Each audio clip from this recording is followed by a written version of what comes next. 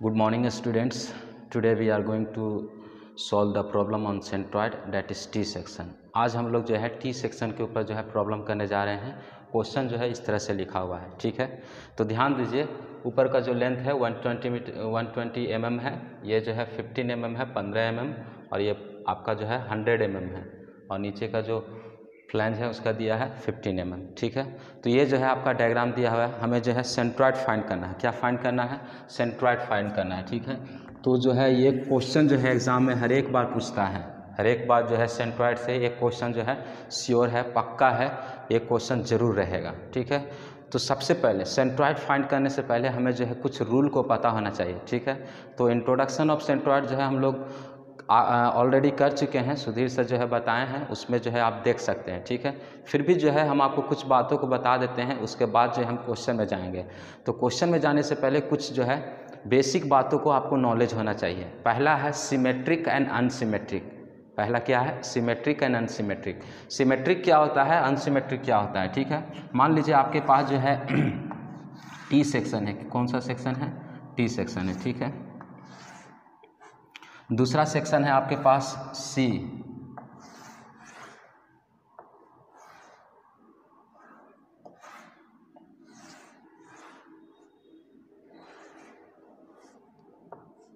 ठीक है, पहला है टी सेक्शन, दूसरा है सी सेक्शन। एंड तीसरा सेक्शन है आपके पास जेड।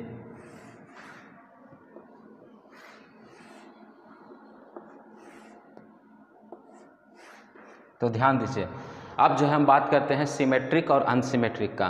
तो ये टी सेक्शन को हम किस रीति से अगर हम इसको कट करना चाहें तो किस तरह से अगर हम डिवाइड करेंगे तो दोनों जो है इक्वल होगा। किस तरह से अगर हम डिवाइड करेंगे तो दोनों क्या होगा? इक्वल होगा। तो आप बोलिएगा, सर, अगर आप इसको जो है इस तरह से अगर आप कट करते हैं इस तरह से अगर आप कट करते हैं तो दोनों जो पोर्शन होगा, क्या होगा? बराबर होगा। ये क्या होगा?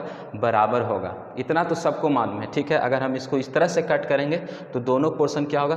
बराबर होगा। तो ये क्या होगा? सिमेट्रिक हो गया। यही क्या है? सिमेट्रिक है। अब यहाँ देखिए, ये सिक्स सेक्शन को हम किस तरह से इसको हम कट करेंगे कि बराबर होगा? दोनों जो है सिमेट्रिक दिखेगा। तो बोलिएगा, सर, अगर आप इसको इस तरह से अगर आप कट करते हैं तो ये जो है सिमेट्रिक होगा। ठीक है? दोनों का जो है, एक जो ऊपर जाएगा, एक नीचे जाएगा दोनों क्या होगा? बराबर होगा ठीक है? जेड सेक्शन की बात करते हैं। तो जेड सेक्शन में जो है वैसा कुछ केस नहीं है। जेड सेक्शन में वैसा कुछ केस नहीं है क्योंकि ये और ये जो है बराबर नहीं दिया हुआ है। ये और ये जो है आपका बराबर नहीं है ठीक है? जेड सेक्शन में जो है ये दोनों आपका बराबर नहीं है तो उस वैसा केस जो है नहीं होता है। तो ये जो है अनसीमेट्रिक हो गया। जेड सेक्शन कौन सा सीमेट्रिक हो गया? अनसीमेट्रिक तो इसकी हम चर्चा नहीं करेंगे ठीक है? अभी हम ई दोनों के बारे में चर्चा करते हैं। टी और सी में ठीक है? तो, तो दोनों तो सीमेट्रिक है। दोनों क्या है? सिमेट्रिक है। लेकिन ध्यान दीजिए, अभी जो है इसको हम वाई एक्सिस से काट रहे हैं, तब ये सिमेट्रिक बन रहा है। इसको हम एक्स एक्सिस से काट रहे हैं, तब सिमेट्रिक बन रहा है। तो कुछ तो अलग होगा ना? कुछ तो अलग होना चाहिए। कुछ तो अलग होना चाहिए। तो क्या अलग है? सिमेट्रिक होने के बाद जो है, दो टाइप का सिमेट्रिक है। एक एक्स एक्स का सिमेट्रिक होता है, ठीक है? और एक वाई वाई का सिमेट्रिक होता है। ध्यान दीजिए, एक एक्स एक्स का सिमेट्रिक होता है, एक वाई वाई का सिमेट्रिक होता है। तो हम कभी भी मान लीजिए, आप जो है एक्सिस बनाते हैं तो ये इस तरह से आप बनाते हैं एक्स एक्सिस इधर हो गया एक्स एक्सिस इधर हो गया, ठीक है? वाई एक्सिस इधर हो गया और वाई एक्सिस इधर हो गया, नीचे हो गया। तो एक्स का मतलब इधर लेफ़्ट हो गया, ठीक है? और राइट हो गया। लेफ़्ट हो गया राइट हो गया, ठीक है।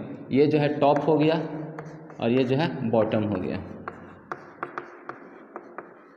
इतना तो आप लोग जानते हैं एक्स एक्सिस का जब एक्स एक्सिस में हम बात करते हैं, यानी कि एक राइट और एक लेफ़्ट एक राइट और एक लेफ़्ट तो कटा हुआ अगर पोर्शन एक लेफ़्ट साइड में जाए, सॉरी, एक राइट साइड में जाए, इस साइड में और एक लेफ़्ट साइड में जाए तो उसको हम लोग बोलते हैं symmetric about X X axis. Symmetric about X X axis ठीक है? कटा हुआ पोर्शन कहाँ जाना चाहिए? एक लेफ़्ट में, एक राइट में। तो उसको हम लोग क्या बोलेंगे? सीमेट्रिक अबाउट एक्सेक्स एक्सिस अब देखिए सी सेक्शन को ध्यान दीजिए। अगर कटा हुआ पोर्शन एक ऊपर जाए मतलब एक टॉप में जाए, एक बॉटम में जाए, एक टॉप में जाए, एक बॉटम में जाए तो उसको हम लोग बोलते हैं symmetric about Y Y axis symmetric about Y Y axis तो ध्यान दीजिए, अब जो है आपको सिमेट्रिक और अनसिमेट्रिक समझ में आ गया। ये जो है क्या है? अनसिमेट्रिक है।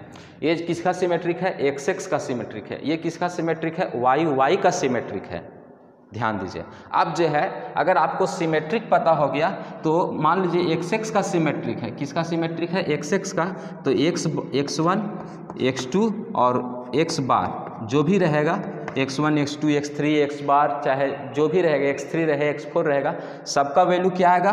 बराबर आएगा। सबका वैल्यू क्या आएगा? इक्वल आएगा। सबका वैल्यू क्या आएगा? इक्वल आएगा। ठीक है? इक्वल आएगा इक्वल आएगा। एक्स वन का एक्स टू का एक्स थ्री एक्स बार का, जो भी रहे। अगर वाई वाई का सिमेट्रिक है तो वाई वन का वैल्यू वाई टू का वैल्यू और वाई बार का वैल्यू सबका वैल्यू क्या आएगा? इक्वल आएगा। सबका वैल्यू क्या आएगा?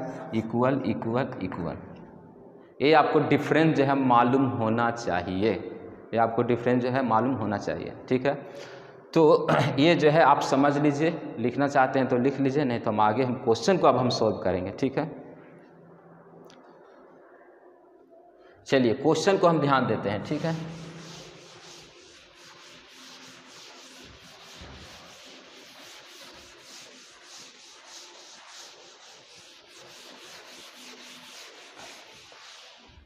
क्वेश्चन दिया है टी सेक्शन, ठीक है? तो सबसे पहले हमें जो है, ये जो है, हमें जो है कंपोजिट फिगर को जो है अलग अलग हमें डिवाइड करना है, ठीक है? डिवाइड करना है, क्या करना है? डिवाइड करना है सेक्शन में डिवाइड करना है। तो इसी को हम बना देते हैं एक और फिगर ठीक है? एक और फिगर हम बनाकर इसको हम डिवाइड कर देते हैं, ठीक है? तो थोड़ा सा ये बड़ा है, इसलिए इसको थोड़ा सा और बड़ा बना देते हैं, ठीक है?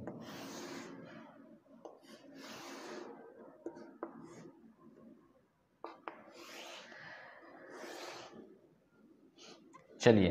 तो हमने क्या किया? यहाँ पर जो है एक सेक्शन बना दिया। यहाँ पर हम लाइन दे दिए। यहाँ पर तो ये हम इसको मान लिए सेक्शन वन और इसको मान लिए सेक्शन टू ठीक है? सबसे पहले क्या काम करना है आपको? सबसे पहला काम करना है कि सेक्शन में डिवाइड करना है, ठीक है? तो टी सेक्शन कितना में डिवाइड हुआ? दो सेक्शन में, ठीक है? एक ये सेक्शन पहला नंबर सेक्शन ये आपका बन गया, दूसरा नंबर सेक्शन ये बन गया, ठीक है? उसके बाद जो है, आपको जो डेटा लिखा हुआ है उसको आप लिख दीजिए, ठीक है? यहाँ जो है वन ट्वेंटी है। ध्यान दीजिए, हम जो है डायग्राम जो है दूसरा बना रहे हैं, उसी डायग्राम को जो हम बनाए हैं, इसलिए ध्यान दीजिएगा, ठीक है? यहाँ आपका फिफ्टीन है, ठीक है? यहाँ से आपका हंड्रेड है। ये जो है आपका फिफ्टीन है। उसके बाद क्या करना है, आपको एक्सिस लेना है। क्या लेना है? एक्सिस लेना है। तो बहुत सारे बच्चे, आप जो है एक्सिस इस साइड से भी ले सकते हैं, या एक्सिस जो है इस साइड से भी ले सकते हैं। ठीक है? आपका जो है, आपकी चॉइस आप चाहें तो ये इस तरह से एक्सिस ले सकते हैं, नहीं तो फिर इस तरह से भी एक्सिस ले सकते हैं। तो फ़िलहाल जो है, हम जो है एक्सिस ले रहे हैं इस साइड से। ठीक है? तो एक्सिस को ले रहे हैं तो उसको हम डॉट डॉट लाइन से जो है हम डिनोट कर दे रहे हैं। ये जो है आपका दूसरा काम है एक्सिस को लेना। थोड़ा सा अगर टेढ़ा होगा तो मैनेज कर लीजिएगा, ठीक है? ये आपका हो गया एक्स एक्सिस और ये हो गया आपका वाई एक्सिस ठीक है? पहला काम हमने क्या किया? सेक्शन को डिवाइड कर दिया। दूसरा काम हमने क्या किया? एक्सिस को ले लिया। दूसरा काम हमने क्या किया है? एक्सिस को हमने ले लिया है। चलिए। अब जो है हमें निकालना है सेंट्रॉइड एक्स बार और वाई बार तो सेंट्रॉइड का फार्मूला जो है इंट्रोडक्शन ऑफ़ सेंट्रॉइड में बताया गया है। एक्स बार का क्या फार्मूला होता है? वाई बार का फार्मूला क्या होता है? तो ध्यान दीजिए, यहाँ पर सेक्शन वन और सेक्शन टू दोनों के दोनों क्या है? रेक्टेंगल हैं। दोनों को दोनों क्या है? रेक्टेंगल हैं। ठीक है? तो अगर रेक्टेंगल रहे रेक्टेंगल रहे तो एक्स वन का फार्मूला होता है एल बाई टू एक्स का फार्मूला होगा एल बाई टू वाई का फार्मूला होगा बी बाई टू ठीक है? क्योंकि मान लीजिए मान लीजिए ये आपका एक रेक्टेंगल है, ठीक है? तो ये आपका हो गया एल ठीक है? ये हो गया बी तो सेंट्रॉइड का मतलब कुछ नहीं सेंट्रॉइड का मतलब सेंटर सेंट्रॉइड का मतलब सेंटर तो कोई भी आदमी जानता है, अगर रेक्टेंगल है तो इसका सेंटर क्या होगा? मान लीजिए जो है आपका पचास दिया है तो इसका सेंटर क्या होगा? पच्चीस होगा। उसी तरह से मान लीजिए आपका पच्चीस दिया तो इसका सेंटर क्या होगा? तो बारह पॉइंट पाँच होगा। तो वही है L by two B by two ठीक है? एरिया का फॉर्मूला तो आप लोग जानते होंगे L into B L into B तो ये सब प्रोसेस जो है हम आपको इंट्रोडक्शन ऑफ़ सेंट्रॉइड में जो है बता चुके हैं, ठीक है? फिर भी जो है अगर आप लिखना चाहते हैं तो लिख लीजिए, नहीं तो हम आगे के प्रोसेस में जाएँगे। चलिए, अब हम जो है बारी बारी से हम करते हैं, ठीक है? तो यहाँ पर कितना सेप है? दो सेप है, ठीक है? तो सबसे पहले हम लोग लेते हैं सेप वन के लिए, ठीक है? Four shape one four shape one four shape one जो है, क्या है? रेक्टेंगल है। फोर सेप वन क्या है? रेक्टेंगल है। ध्यान दीजिए स्टूडेंट्स, आपको जो है एग्ज़ाम में जो है, जो हमने प्रोसेस को बताया था, सिमेट्रिक है कि अनसीमेट्रिक है, उसको लिखना है। ठीक है? ये ज़रूर आपको लाइन लिखना है। The given section the given T section is symmetric about X X axis the given T section is symmetric about X X axis ठीक है? ये चीज़ को हम नहीं लिख रहे हैं क्योंकि हम आपको पहले ही बता दिए, ठीक है? आपका कॉन्सेप्ट जो है क्लियर कर दिए तो आपको एग्ज़ाम में ज़रूर लिखना है। किसका सिमेट्रिक है? एक्स एक्स का है कि वाई वाई का है? उसके बाद जो है आगे के प्रोसेस में करना है। तो फोर शेप वन रेक्टेंगल ठीक है? ये हमने शेप वन माना है, ये रेक्टेंगल है, ठीक है? तो हम जो है रेक्टेंगल के लिए फार्मूला हम लोग जो है एरिया का क्या निकालेंगे। तो एरिया का मतलब ए वन हम मान लेते हैं। पहला सेप है, इसलिए area one area one equal to L into B L into B तो ध्यान दीजिए सेप वन के लिए एल कितना है? तो जो एक्स एक्सिस में होता है, उसे हम एल मानते हैं। यानी one twenty into fifteen one twenty into fifteen one twenty into fifteen तो यहाँ से आपका निकल गया एरिया वन का एरिया वन निकल जाएगा। तो इसको आप मल्टीप्लाई कर दीजिए। आपका हो जाएगा अट्ठारह सौ। अट्ठारह सौ M M square M M square क्योंकि यूनिट जो दिया है एम एम में दिया है। ठीक है? उसके बाद निकालेंगे एक्स वन एक्स वन का फॉर्मूला होता है एल बाई टू तो एल एल कितना है? तो एल जो है आपका है one twenty one twenty divided by two equal to sixty M M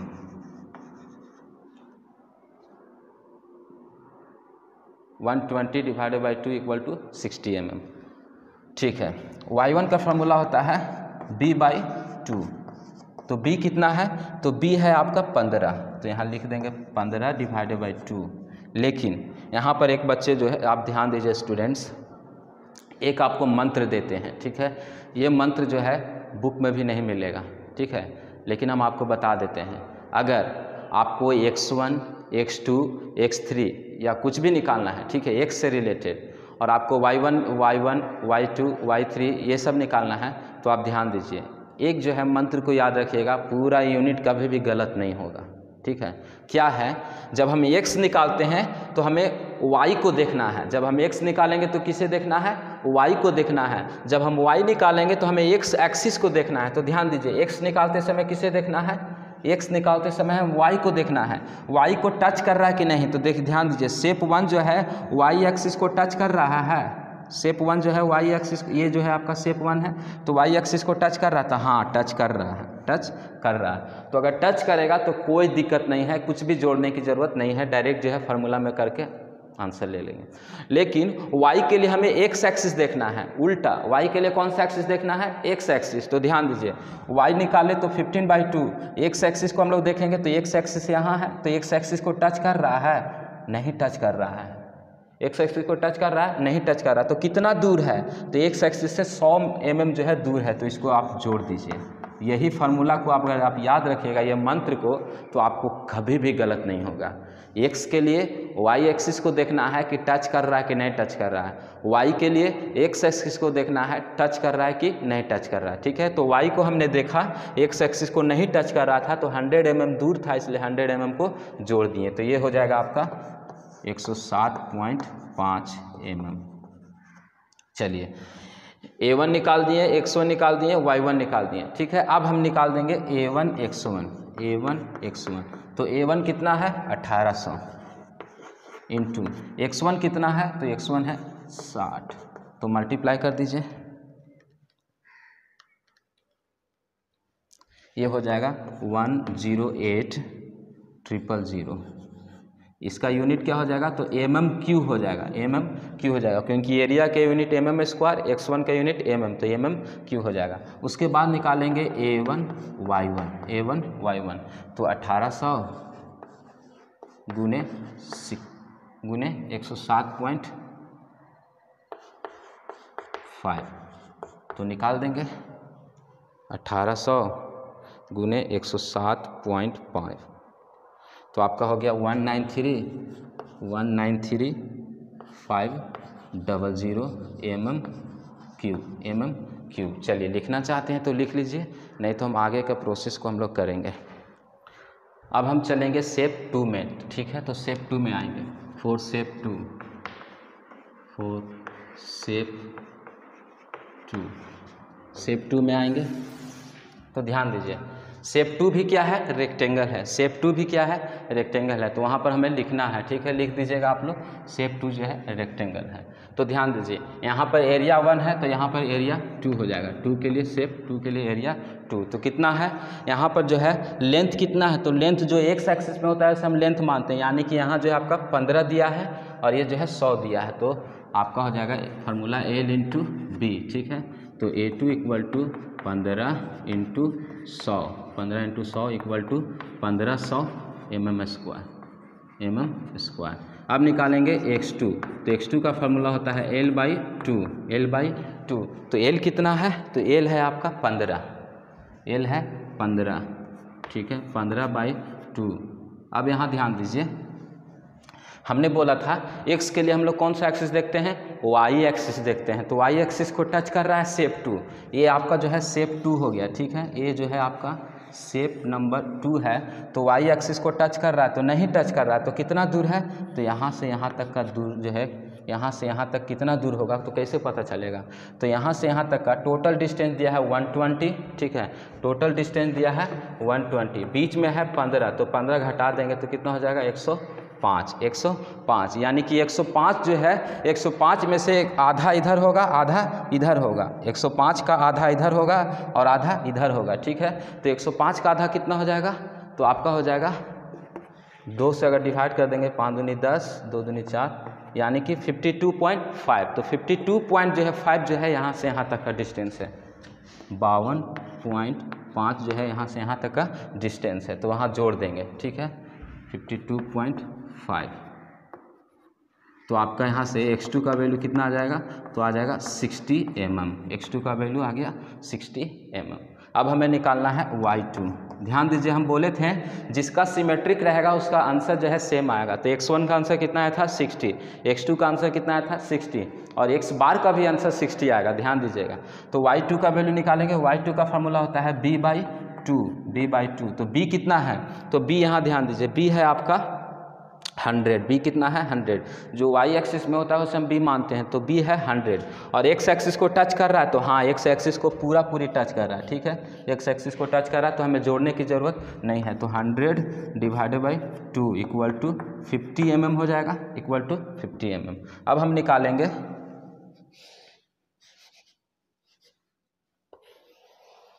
A two X two का वैल्यू हो जाएगा A two and X two तो ए टू का वैल्यू कितना है? पंद्रह सौ। पंद्रह सौ into X two X two कितना है? तो एक्स टू आपका आया है सिक्सटी तो इसको मल्टीप्लाई कर दीजिए, यानी कि पंद्रह छक नब्बे।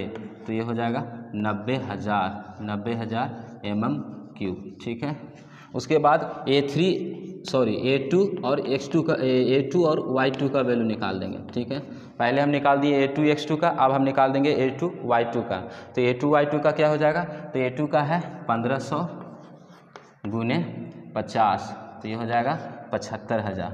पंद्रह पचे पचहत्तर, यानी कि पचहत्तर हज़ार M M Q M M Q M M Q हमें निकालना है centroid X bar X bar का फॉर्मूला क्या होता है? तो एक्स बार का फॉर्मूला होता है A one X one A one X one plus A two X two divided by A one plus A two ये फार्मूला होता है एक्स बार का। आपको जो है बताया गया था ठीक है? A one X one plus A two X two divided by A one plus A two तो एक्स बार के यहाँ से हम निकाल लेंगे X bar A one X one A one X one का वैल्यू कितना आया है? तो ए वन एक्स वन का वैल्यू आया है one zero eight triple zero. तो यहाँ रख दीजिए। One zero eight triple zero plus A two X two का वैल्यू कितना आया है? तो नब्बे हज़ार प्लस नब्बे हज़ार। ठीक है? Divided by A one A one का वैल्यू कितना है? तो ए वन का है अट्ठारह सौ। प्लस ए टू का वैल्यू कितना है? तो पंद्रह सौ। तो जब ये आप कैलकुलेटर में पुट कीजिएगा तो एक्स बार का वैल्यू आ जाएगा 60 एम एम एक्स बार का वैल्यू कितना आ जाएगा? 60 एम एम आप जो है कैलकुलेटर में पुट करके चेक कर लीजिए। ठीक है? अब हम निकल गया एक्स वन एक्स बार निकल गया। अब हम निकालेंगे वाई बार तो वाई बार का फॉर्मूला क्या हो जाएगा? A one Y one plus A two Y two divided by A one plus A two divided by A one plus A two तो यहाँ से निकाल लीजिए Y bar equal to A one Y one A one Y one का value कितना है? One nine three five double zero तो यहाँ रख देंगे one nine three five double zero plus A two Y two का वैल्यू कितना आया है? तो A two Y A two Y two का वैल्यू आया है पचहत्तर हज़ार. तो यहाँ रख दीजिए, पचहत्तर हज़ार. डिवाइडेड बाई अट्ठारह सौ प्लस पंद्रह सौ. ठीक है? तो यहाँ से जो है आप वाई बार का जो है वैल्यू कैलकुलेटर में जो है रख के निकाल लीजिए। तो कैलकुलेटर है आपके पास तो कैलकुलेटर यूज़ कर लीजिए। One nine three five hundred plus पचहत्तर हज़ार है यहाँ, ठीक है? पचहत्तर हज़ार है plus seventy five thousand divided by अट्ठारह सौ प्लस पंद्रह सौ। तो आपका वैल्यू आ जाएगा Y bar equal to eighty one point three six M M Y bar equal to eighty one point three six M M यहाँ ध्यान दीजिए क्वेश्चन में जो है हमें सेंट्रॉयड निकालना था। एक्स जो टी सेक्शन जो दिया था, उसका हमें सेंट्रॉयड निकालना था। अर्थात एक्स बार और वाई बार तो एक्स बार का वैल्यू कितना आ गया? Sixty M M X bar का वैल्यू कितना आ गया? Sixty M M Y bar का वैल्यू कितना आ गया? तो 81.36 mm 81.36 mm यही हमें निकालना था एक्स बार और वाई बार। तो हम विश्वास करते हैं कि आपको जो है समझ में आ गया होगा, ठीक है? आपको जो है समझ में आ गया होगा। अगर आपको समझ में आ गया है तो हम जो है एक क्वेश्चन को देते हैं। टी सेक्शन पर ही हम क्वेश्चन को देते हैं। आप जो है उस क्वेश्चन में जो है, हमें जो है एक्स बार का वैल्यू और वाई बार का वैल्यू हमें निकाल के दिखाइएगा। हम जो है क्वेश्चन देते हैं, उसमें एक्स बार का और वाई बार का वैल्यू निकाल के दिखाइए। क्वेश्चन आपका दिया हुआ है। इसमें जो है आप हमें एक्स बार का वैल्यू और वाई बार का वैल्यू क्या होगा? एक्स बार का वैल्यू क्या होगा? वाई बार का वैल्यू क्या होगा? आप हमें कमेंट करके बताइए। आपका आंसर को जो है हम चेक करेंगे। तब तक के लिए धन्यवाद।